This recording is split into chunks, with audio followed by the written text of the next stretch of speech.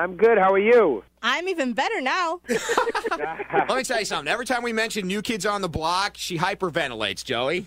That's awesome. I know it's bad. I just can't help myself, though. well, I'm I'm right there with you. Now, you guys have a bunch of new stuff going on, which we're going to talk about in a second, but let's go back a few. Now, you were young when all this started a few years ago. You were the baby in the group. Yeah.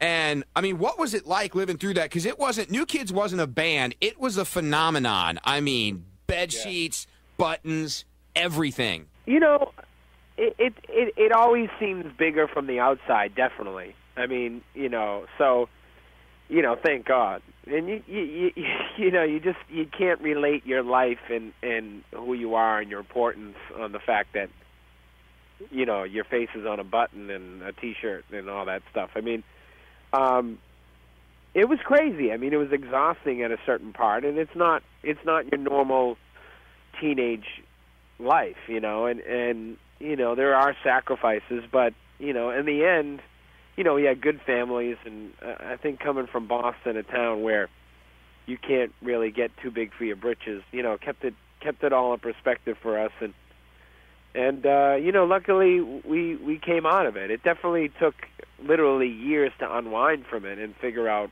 what you wanted to do with the rest of your life, and you know, but uh, luckily, you know, we're here and we're you know, it it obviously speaks to the fact that you know it was overall a good experience for us, and and we all the fact that we can even still get along is is is a gift. So it's it's cool to be back.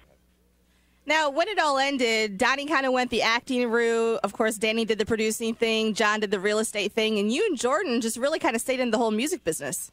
Yeah, And, Yeah, then, and then of course, I, I- you know, I've done since New Kids. I've been I've been blessed with great opportunities. I mean, I've been on Broadway, and I did you know a TV show for for a, a year, and I've done you know a couple of movies that I'm you know really proud of, and you know so I've and and and then my you know music has always been a thread, and and uh, I've been lucky enough to you know. uh because of New Kids and that success, kind of call my own shots. And sometimes that's tough because you know you have to be your own boss but at the same time you know you, you get to do creatively what you want to do and um you know it's been it's been great you guys tried to reunite before with bands reunited on VH1, and it didn't quite go as well as it did now. What was up with that?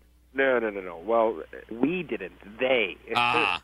they tried to reunite us we didn't try to reunite us i, I mean that show you know tried to sabotage us and you know actually my end of that situation was that I was doing a movie, a press junket for a movie, and and they were. I came in and they said, "Well, the MTV's in that room, but they're not ready for you." So they were setting up. So finally, they're ready. I walk in and they talk for about four, five minutes about my music and the movie and this and that, and all of a sudden, well, we're actually not here for that. We're actually with Bands Reunited and blah blah blah. And we think you guys should, should get together and Oh. you know. Oh yeah, I mean it, it was it was laughable. I mean over the years, you know, people have come to us with all different kinds of ideas to get back together, and you know, if we were going to do it, it was going to be on our terms, and we had to feel you know amazing about it and and feel good about it. And Bands Reunited is they're trying to make a TV show. You know what I mean? Right. And it, unfortunately, you know, give us a little credit Right.